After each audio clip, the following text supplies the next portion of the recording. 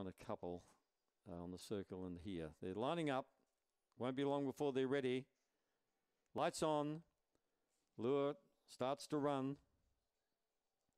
They're off. Ransom's Pride appeared to get away pretty well. Vinny rumbling. Alinga Grin is showing speed, but going right to the outside fence as they sort themselves out.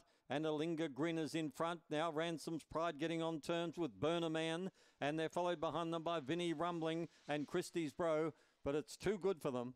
Races away. Uh, Ransom's Pride and wins clearly. Three way go for third, uh, for second. Alinga Man, Burner Man, and Vinny Rumbling. A line of three. Just in behind them, Christie's Bro and Aston Maximus was never a hope in the event.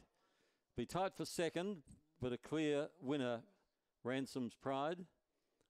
And I'll leave it to the judge between Burner Man and the Linger Grin for second, with Vinny Rumbling fourth. 1642 was the time. 1642. He was going great guns toward the end, Ransom's Pride, after being led early by Linger Grin. So 1452. 1452. They ran 443 opening split, which is fast. And uh, we'll get the other splits in a moment. So Ransom's Pride wins by three and a quarter, ahead between second and third. Three and a quarter by head, 1452.